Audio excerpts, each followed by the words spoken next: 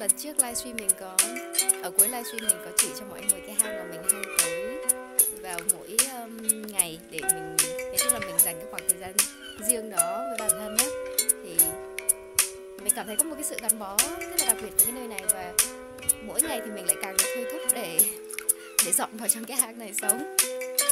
Ờ, nói vậy thôi chứ không phải là mình sẽ hoàn toàn sống ở đây tại vì cái trại của mình thì cũng cách đây khá gần thôi. Nhưng mà buổi sáng mới thức dậy thì mình được thôi thúc rất là mạnh mẽ để chuyển nhà lên đây.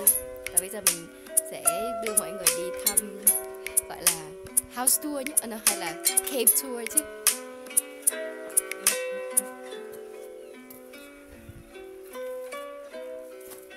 Có một bụi uh, cây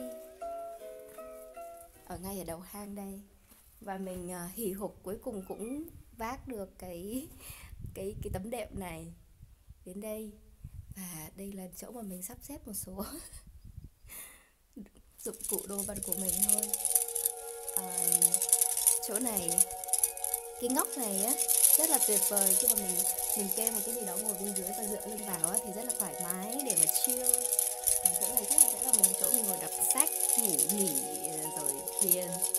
Um, bên trong hang kia thì ra đường rất là hẹp nên chắc là mình không không đi vào đó được. À cho mọi người nhìn bên trên này. Nó nó không thực sự là một cái hang tại vì nó, không có cái vòm uh, cái mái ở bên trên. Nó giống như là một cái vách núi nhưng mà là nó cũng đối với mình thì nó gần như một cái hang. Và mỗi lần mình đến đây thì mình cảm thấy rất là tuyệt.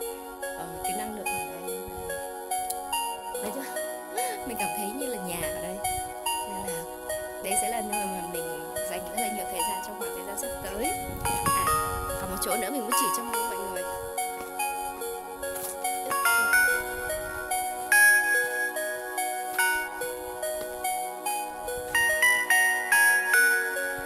À, đây là đá mà đối với mình nó rất là đặc biệt giống như là một cái bát giống như một cái bồn tắm. Có một cái cái cái bậc để đi lên ở đây nữa này đây là cái chỗ mà mình ngày nào cũng ra đây ngồi tắm nắng và và chill. Ờ, uh, thiền rồi ừ, đôi khi mình rất là thích ngủ ở đây. Ngủ ở đây không hiểu sao ngon cực kỳ. Và mặc dù có nắng chiếu vào mặt nhưng mà nó không bao giờ gay gắt cả.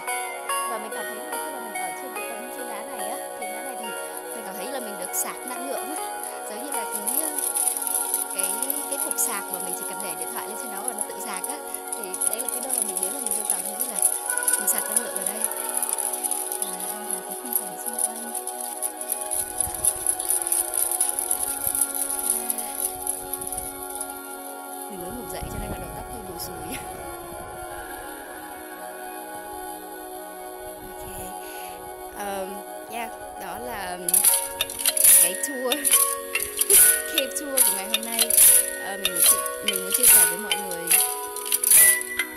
nơi một địa bàn mới của mình. À, bởi vì nhiều bạn có yêu cầu mình chụp hình hay là chia sẻ thêm về cái nơi mà mình đang sống? Thì cái nơi mình đang sống á, mình có kể sơ sơ trên mấy cái post là uh, nó là bởi vì cái bề mặt của nó rất là giống sao hỏa cho nên là nó là được chọn được uh, nó được chọn để quay phim uh, The Martian